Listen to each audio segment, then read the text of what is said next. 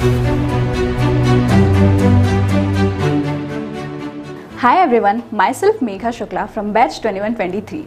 Currently, I am pursuing my PGDM in marketing and operations and I am doing my internship as a sales intern in ANAROCK Properties.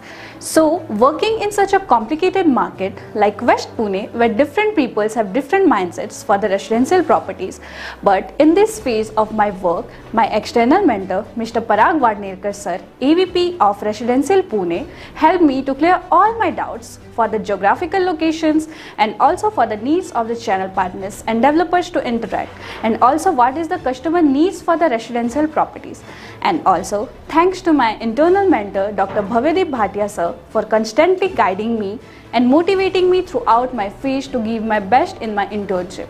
And also thanks to my placement coordinator Mr. Kinsuk Shet sir and my college which provided me such a wonderful opportunity to start my career. Thank you.